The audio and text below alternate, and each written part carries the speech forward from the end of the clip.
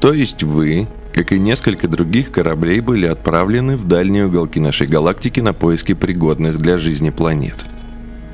В процессе вы потеряли связь и были вынуждены вернуться на Землю. И вот каким-то чудом вы переместились в будущее, в котором усиленно заставляете меня поверить в этот бред. Я все правильно изложил? Послушайте, я никого не заставляю, но это правда. Все именно так и было. Ну да. Вот только дело в том, что я тебе не верю. Ты просто похож на очередного попрошайку из пустошей, с говорящей тележкой из супермаркета. Впрочем, какая теперь разница?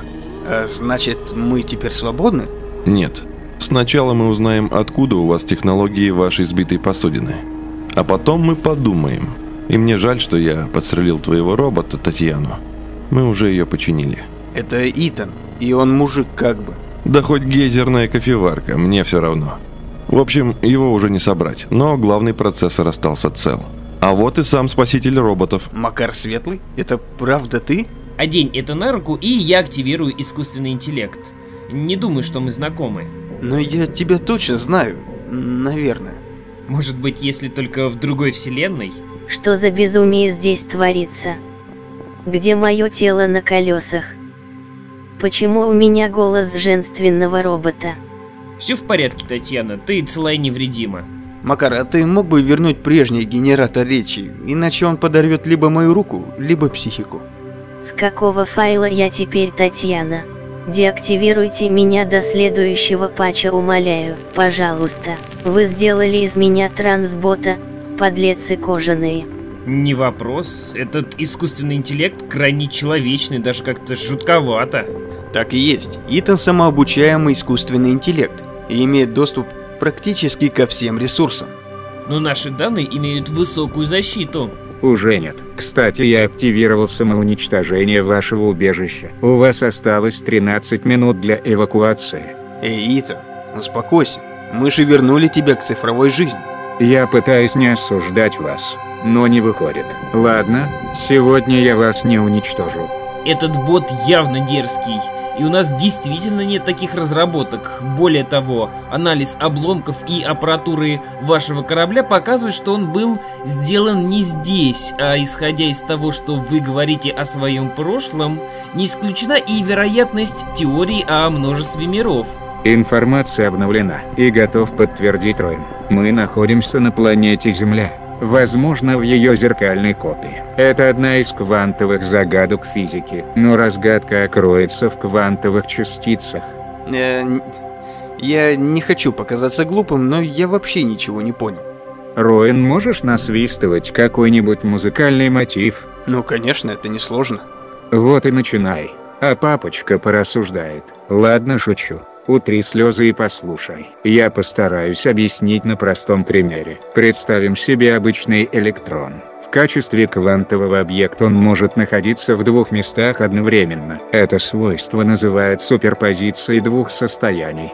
Но магия на этом не заканчивается. Как только мы захотим как-то конкретизировать местоположение электрона, например, попытаемся его сбить другим электроном, то из квантового он станет обычным. А это вообще реально, чтобы электрон был и в пункте А, и в пункте Б? И вдруг в определенный момент перепрыгнул в Б? Это любопытно, но похоже на бред. Не торопись, мистер Химик. Согласно теории миров, электрон так и продолжает существовать в двух состояниях одновременно. Все дело в самом наблюдателе. Теперь он превращается в квантовый объект и разделяется на два состояния. В одном из них он видит электрон в пункте А или в пункте Б. Существуют две параллельные реальности, и в каком из них окажется наблюдатель, неизвестно. Если это так, то в этой параллельной вселенной наши копии также присутствуют. Кто знает, может быть, хоть здесь я успел захватить власть над Скайнетом. И что же мне делать, если я встречу сам себя? Думаю, здесь только два варианта. Первый.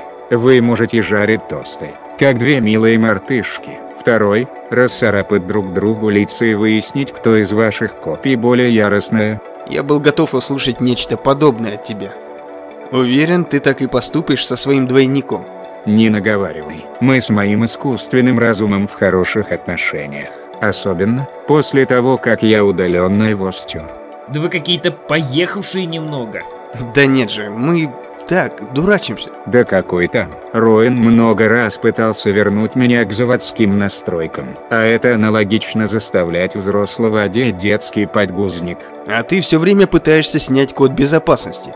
И я реально боюсь за свою жизнь. А ты впаял мой микрочип в мусорку на колесах.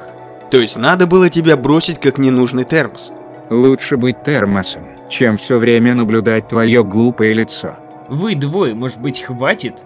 Теория о параллельных мирах мне достаточно знакома, и она слишком абсурдна, а вот гипотеза инфляционного расширения Вселенной здесь более уместна. В моей базе данных данная теория отсутствует. Это крайне амбициозная идея, которая описывает, каким образом расширяется Вселенная в самые первые мгновения ее жизни. При этом факт того, что были открыты гравитационные волны, очень помогут в экспериментальном открытии данного факта. Макар, а ты мог бы рассказать об этом поподробней?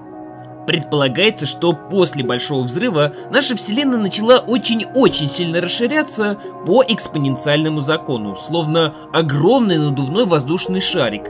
Некоторая ее часть оформилась в виде пузыря нашей Вселенной, создав возможность формирования звезд. А значит, каждая Вселенная развивается по-своему. Именно. А мистер Химик дело говорит. Самое удивительное то, что в других районах пространства-времени происходили другие процессы, в результате которых началось формирование изолированных вселенных, которые представляют собой отдельные пузырьки. Они могут находиться на разных ступенях развития, обладая собственными физическими законами и константами. Получается, что вселенных неизвестное количество. Но это никак не объясняет все-таки, как мы попали в вашу вселенную. Вселенной можно связать неким порталом между собой, если создать кипение пространства-времени, а также удерживать этот портал такими частицами, которые имеют отрицательную массу, а в некоторых случаях мнимую. Эти вселенные могут быть абсолютно одинаковыми, могут кардинально отличаться, а могут лишь отличаться совсем незначительно. Но что стало причиной конкретно вашей ситуации, мы, скорее всего, не узнаем. Может быть, влияние оказало какое-то событие во Вселенной типа слияния сверхмассивных черных дыр? Или, вероятно, последствия использования Большого адронного коллайдера на орбите, где пытались найти бозон Хиггса. В теории производства огромной энергии может создать разлом пространства-времени. И как последствие альтернативные реальности могут столкнуться с нашим миром и нарушить привычный нам баланс. Смелый, но определенно интересный вариант. В нашей вселенной адронный коллайдер находится на Земле, но это и правда интересное предположение. И это не просто слова, дело в том, что в северной части материка появились аномалии масштабного уровня. Связь с колонией потеряна, а экспедиции заканчивались их исчезновением. Ты считаешь, что это как-то связано? Вполне возможно, вселенные на самом деле как-то взаимодействуют. К слову, мы туда направляемся через пару недель, а у вас есть важная информация. Вы бы нам здорово помогли, если пошли бы с нами. Значит, люди оказались в аномальной западне. Да, я думаю, что любая помощь будет лучше, чем ничего. Какую дашь оценку, Итан? Боюсь, что мы вынуждены отказать мистеру Химику, поскольку должны придерживаться протокола 2790. Наша главная цель – поиск планет, пригодных для жизни, никто не отменял. А смысл, если мы уже непонятно где находимся? Само собой разумеется. Сперва необходимо вернуться в нашу реальность, а далее по протоколу. Тоже правильно, Итан. Как же нам поступить? С одной стороны, мы можем помочь разобраться со странными событиями, которые происходят недалеко отсюда. С другой, мы должны придерживаться нашей первоначальной цели и вернуться на нашу планету. Времени мало. Нужно сделать выбор. Решай, Сроин, иначе я тут все взорву. Шутка. Или нет?